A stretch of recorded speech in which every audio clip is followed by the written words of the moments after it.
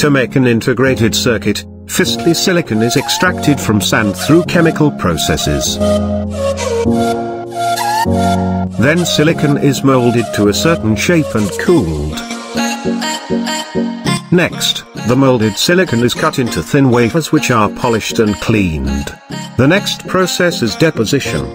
The epitaxial layer is first layer of deposition on wafer which prevents harmful impurities to enter. Chemical vapor deposition is added on wafer surface. Physical vapor deposition is used to prepare metal material films on wafer surface. The next step is very crucial.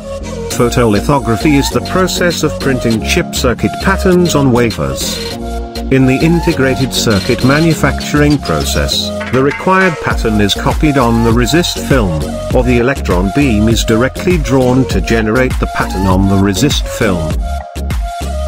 The doping is a technique used to remove the impurities from the wafer. The final stage is assembling and packaging.